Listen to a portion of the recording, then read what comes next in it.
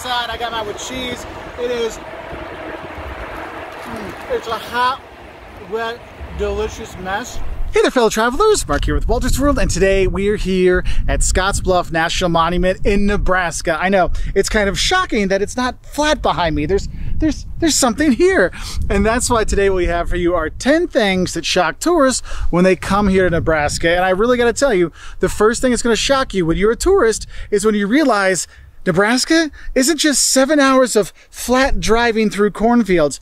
No, there is undulation in the land here. There are buttes you can see. There are really beautiful parts of the state you can see, and it's not just flat. Okay, so I want to get that one out of the way first because I know for me, I'm like, what? There, there, it's not just cornfields for miles. Oh no, there's a lot more to it. For example, here when you check this out, or you go to Chimney Rock, which is about a half hour drive from here, here in the west part of the state, it is not just flat cornlands. Now, the second thing that shocks people when they come here is all the driving you're gonna have to do when you do come to Nebraska. I'm not gonna lie to you. It is a big state. It is a seven hour drive from one side to the other. And a lot of times there's not a lot of things in between to do. So make sure you're filling up on your gas when you can, but you're just gonna have to do a lot of driving. And people here, they'll say, oh, we measure the distance in hours it takes to drive. And it's true. So do plan ahead. Do have drinks in your car. Do have snacks in your car. If you're getting like the half a tank, maybe you should fill up the next gas station you see just in case. But what's cool is the driving here actually is really easy. The roads are actually really nice when you go on them, especially on the highways. Now, though I will say the roads are very nice. You can tell why they're nice because there's a lot of road construction when you're going through the state. So just be ready for an occasional merge into one lane from two or something like that, just to have a heads up for it. But overall, it really is an enjoyable state to drive through or drive around in until our third shock. And that is the unpredictable kind of pattern of the weather here in Nebraska. I mean, I'm here today and it's almost 90 degrees. Guess what? In tomorrow, there might be snow here. I mean, it's crazy how much the weather can change. So don't necessarily believe the weatherman or the weather person that's out there telling you what's on there or, or weather.com when it says, oh, the weather's going to be 85 today. Make sure you're bringing layers, you're bringing some warm clothes because yeah, the weather here just kind of does whatever it wants. Now, the fourth thing that shocked us when we were driving through Nebraska and visiting some of the places is how short the on-ramps are onto the highway. I mean, we have all this room in this beautiful state, and I don't know why they didn't use a little bit more room to make the on-ramps to the highway a bit longer. So do be careful when you're getting on I-80 or anywhere else and you're coming on. Make sure you're really paying attention because you might have to stop. You might have to definitely give the yield to the trucks that are going by when you're getting on the highway because it can be a bit scary. So do have a head heads up for that. But what's cool is when you're driving around the state, there are tons of sites that are just right off the highway.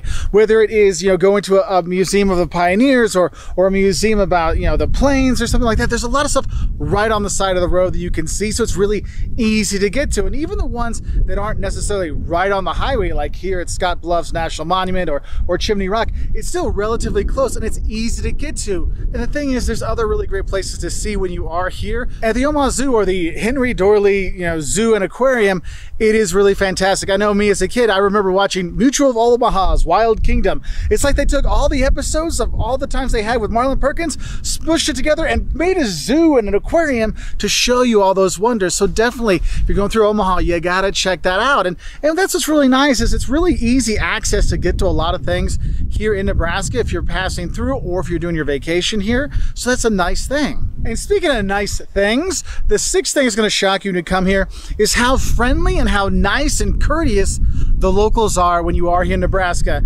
even when they give you the finger. No, no, no, not the middle finger, but when you're driving, especially on the back roads, you get like the little wave, hey, what's up, hey? I mean, everywhere we've gone, when we haven't been on I-80, everyone's like, drive by like, hey, what's up, man? Like you can see like the little head nod and the finger wave. So you do have that, but the people in Nebraska we've been meeting have been so friendly, so helpful. They to, oh, what are you doing in Nebraska? What's going on? What are you going to go see? I mean, like, oh yeah, we're going to go see, you know, we're going here to Scotts Bluff and then we're going to go to Chimney, Chimney Rock and we're going to, you know, going to see, you know, Lincoln and stuff like that. They're like, oh, that's really cool. Let me tell you what to see. This is what you need to eat. Don't forget to go to Runza. I mean, the people are like over the top friendly and they don't want anything from you, which is really, really cool. So don't be surprised if those Cornhuskers, uh, they, they, they kind of chat your ear off when you're here, but in a super friendly way. And that kind of leads me, when I think of the Cornhuskers, that leads me to the seventh shock. And that is how much they love the University of Nebraska Cornhuskers here. And yes, I know we think of, you know, college football and they, they, they cheer, go big red. But the thing is, it's not just college football. It's all the sports for Nebraska they go to cheer for. And the kind of a shot that goes with how much they love it is also how well the Nebraska fans travel. Okay. I live in Champaign. I live where the University of Illinois is. And I can tell whenever Nebraska's coming, whether it's volleyball or football or whatever, three or four days before the game, the bars, the hotels, the restaurants, they're full of Nebraska fans and they're friendly and they're courteous and they're fun and they spend their money. And I'm like, yes, can Nebraska come visit us every year? Because they're awesome fans. So that really kindness that they have here, they take all throughout the country when they travel, which is a really awesome thing. Now, another thing that kind of shocked me when I was driving through here, because when I was looking at the times to get places and how the GPS was saying we we're going to get places and not get places, I was a little confused, is that yeah, kind of like in the middle of the state or like a little bit on the west of the state, there's a time change. So most of Nebraska is in central time. But if you're on the west part, the west panhandle of Nebraska, most of that is actually going to be in mountain time. So if you're going through and you're trying to plan visits and going places, make sure you realize there can be that time change. So you're not like shocked that, oh, it's closed or, oh, we're there too early just to kind of help you out. Now, the ninth thing I want to talk about that shocks people when they come here to Nebraska is when they find out some of the great things that Nebraska has invented for our tummies. The Reuben sandwich, you know, corned beef, uh, sauerkraut, Russian dressing, or Thousand Island dressing. Some people like to say Swiss cheese, rye bread, grill. Oh my God, it's so good. A lot of people don't realize that was actually invented here in Nebraska. Kool-Aid, hey, who doesn't like to drink the Kool-Aid? That's from here in Nebraska. Oh, or you're gonna see that they invented something that's a little bit not as tasty. Red beer? Yeah, red beer, because you know, go big red, you gotta have red beer, I guess, and it's basically beer and tomato juice or beer and V8. Yeah, you can have that. So it's like a healthy beer. I guess that's how the, the Cornhuskers get so big and strong. I, I don't know, but it, it is something there. And I think the 10th thing I want to talk about in terms of things that shock people when they come here is actually still more the food stuff. And that is the unquenchable love affair that the Cornhuskers, the people of Nebraska have with two things the Dorothy Lynch dressing and Runza restaurant chain. Okay, so Runza, if you go to, you'll see Runza. It's a green sign with yellow letters.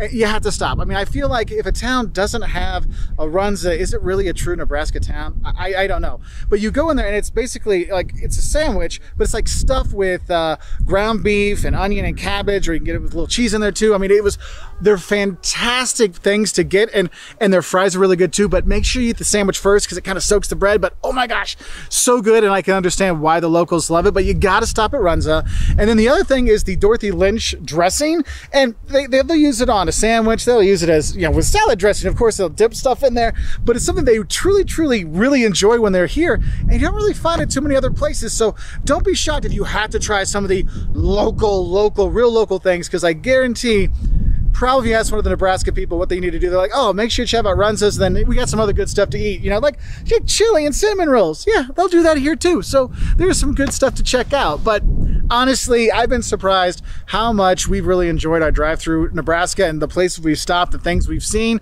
because we drove through and then we're driving back through to visit more things. And whether it's the beautiful nature or the beautiful, wonderful people, it's been a fantastic time. So what are some things that shock you about visiting Nebraska? Let us know in the comment section below. And I'll say a special thanks to our patrons on Patreon and our members here on YouTube for helping make honest, fun travel videos like this possible. If you want to learn how you can help out, click the join button on YouTube or go to Patreon patreon.com slash Wolters World to find out more. And we wish you all the best. And if you want to learn a little about Nebraska food, we have a very de special dedicated episode for that. And I actually filmed it around here so you can see some more beautiful views. Anyway, I wish you all the best and bye from Nebraska.